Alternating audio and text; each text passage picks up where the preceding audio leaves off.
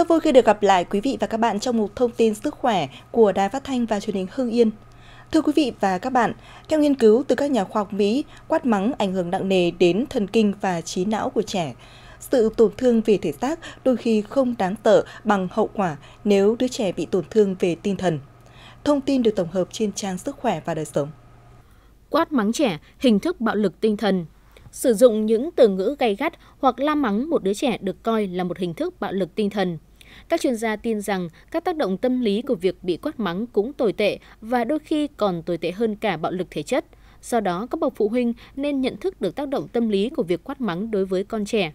Bạo lực tinh thần hay lạm dụng tâm lý là kiểu hành vi, trong đó một người cố tình và liên tục khiến người khác phải đối mặt với hậu quả về hành vi, tình cảm và sức khỏe tinh thần nói chung. Có nhiều hình thức bạo lực tinh thần bao gồm bạo lực bằng lời nói, hăm dọa và khủng bố, sỉ nhục và hạ thấp, khai thác, quấy rối, chối bỏ tình cảm, sự cô lập và kiểm soát quá mức. Thực ra, ở ngưỡng nào đó, một chút quát mắng có thể là một công cụ có lợi trong các hình thức kỷ luật của cha mẹ, Tuy nhiên, việc quát mắng quá mức sẽ gây bất lợi cho sự phát triển tâm lý của trẻ. Hành vi của trẻ trở nên tồi tệ hơn. Nhiều bố mẹ nghĩ rằng quát mắng có thể khiến con sợ, giúp giải quyết được vấn đề ngay lập tức cũng như ngăn chặn việc tái phạm lỗi.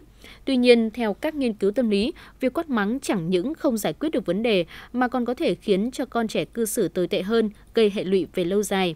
Một nghiên cứu về mối quan hệ giữa bố mẹ và con cái cho thấy, ở nhiều gia đình có con trên 13 tuổi, khi bị bố mẹ quát mắng, chúng thường phản ứng chống đối bằng cách gia tăng hành vi xấu.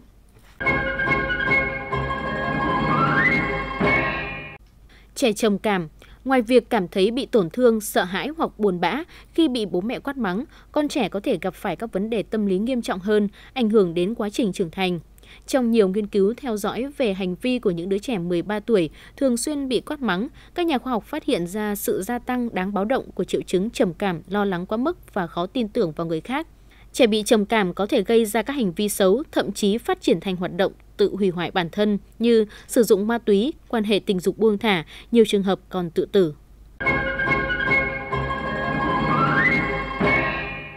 Ảnh hưởng đến sức khỏe thể chất những trải nghiệm thời thơ ấu có thể ảnh hưởng đến trẻ theo nhiều cách, cả về tinh thần lẫn thể chất.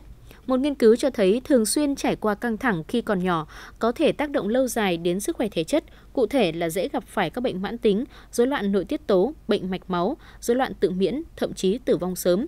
Một nghiên cứu của Viện Sức khỏe Quốc gia, Viện Lão hóa Quốc gia Mỹ cho biết, việc bị quát mắng thường xuyên còn dẫn đến các cơn đau mãn tính gồm viêm khớp, đau đầu, vấn đề ở lưng, cổ, có thể giết chết sự sáng tạo của trẻ. Một đứa trẻ thường xuyên bị la mắng sẽ rất khó để phát huy sự sáng tạo bởi vì chúng luôn sống trong cảm giác thiếu an toàn, không thể đặt niềm tin vào người lớn. Nếu làm sai có thể bị cha mẹ mắng. Còn chưa kể thói quen la mắng con thường xuyên sẽ dễ khiến con trở thành người sống khép kín, không thích chia sẻ và không đặt niềm tin vào người lớn. Mất ý thức tự giác trong học tập Nỗi sợ hãi có thể khiến trẻ mất đi ý thức tự giác trong học tập. Thay vì chủ động làm mọi việc trong quyền tự quyết của trẻ, thì con chỉ làm những việc hoặc là dừng lại ở việc nào đó chỉ vì sợ hãi. Về lâu dài, thói quen này ảnh hưởng đến kết quả học tập cũng như dẫn đến hàng loạt các vấn đề rắc rối về sau.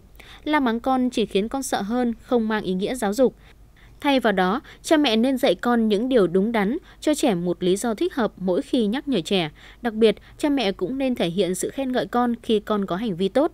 Đó là cách dạy con mang tính khoa học mà các ông bố bà mẹ nên biết. Quý vị và các bạn thân mến, cách phòng cảm cúm cho dân văn phòng sẽ là chủ đề trong một thông tin sức khỏe ngày mai. Mời quý vị và các bạn cùng chú ý theo dõi.